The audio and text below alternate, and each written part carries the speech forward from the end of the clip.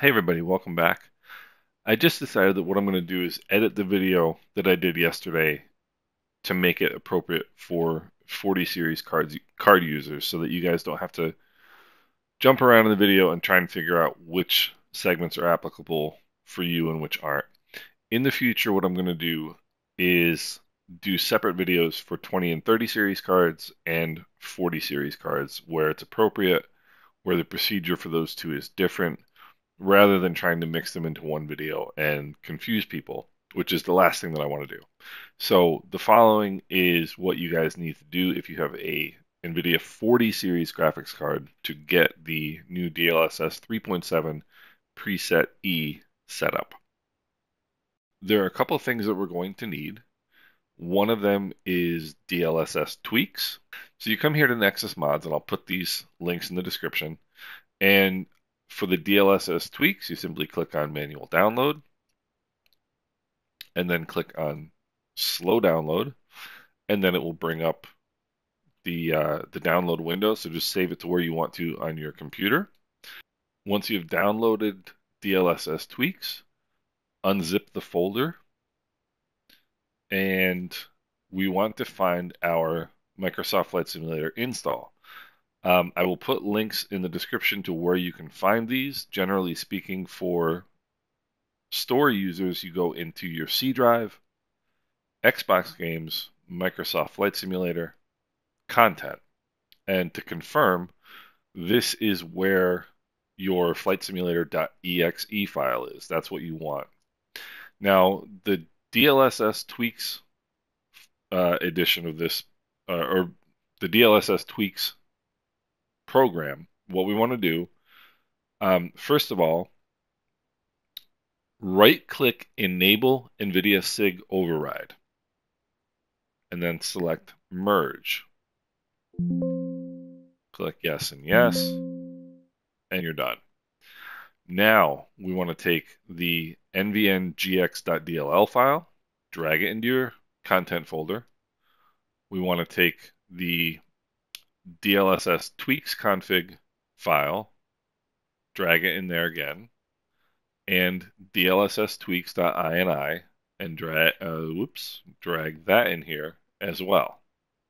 Now we want to edit the DLSS tweaks config.exe file. So double click on that. It's going to ask you to confirm. You open the file and you want to come down to DLSS presets. Now, theoretically, we should be able to use global forced preset to set them all to E, but I've had difficulty getting that to work. So the simple way to do it is simply go to DLSS presets and select each one and set them to E. Whoops.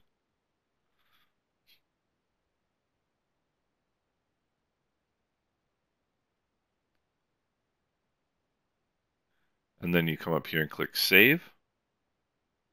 And you're all set. You can now close this. Now, for those of you with 40 series RTX cards, you need the frame generation DLSS file. I'll put the link in the description. You click on download of the 3.7 version. Download the file, save it wherever you want to, open the folder where you saved it, extract the file,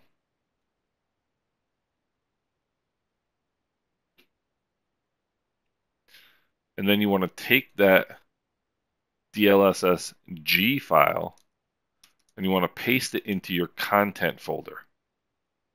You just simply drag it, copy and paste, whatever you want to do, confirm that you want it to be overwritten, and you're good.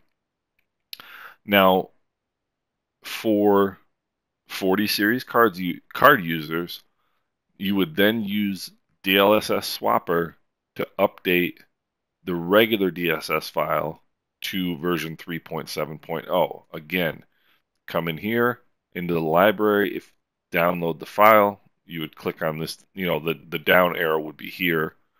I've already got the file. Click on the download link.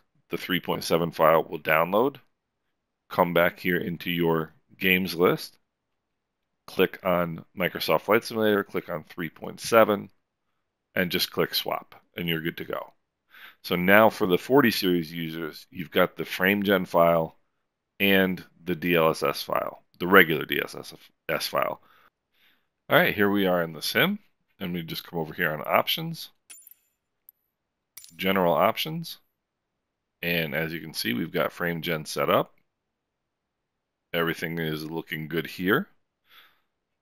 One other thing you want to do, go into your content folder, and there is a file called dlss tweaks.log.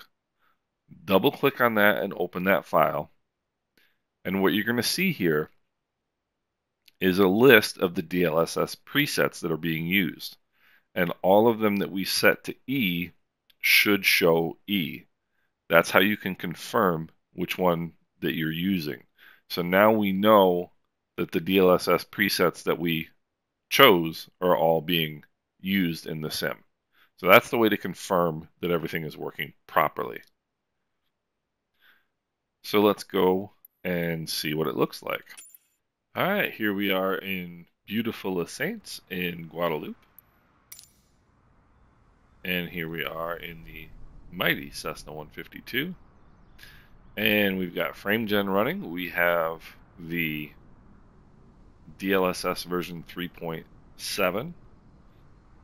This is also one of the bespoke airports that Asobo did in the World Update 16 Caribbean Edition. And as you can see, everything looks absolutely beautiful. So now we are all set. Uh, any questions that you might have, please don't hesitate to put them in the comment section. Hope this video was a lot easier to understand and more comprehensive. I would also like to thank people who've made comments to the previous video that I did yesterday. There were a couple things that uh, specifically regarding the 40 series RTX graphics cards that I did not include in yesterday's video, and I should have.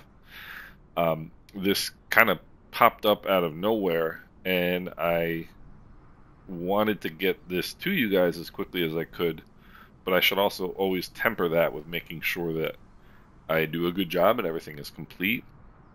Please understand I do take your feedback very seriously. I don't want to do anything that is going to mislead anybody or going to you know, God forbid, uh, you know, cause anybody to mess anything up.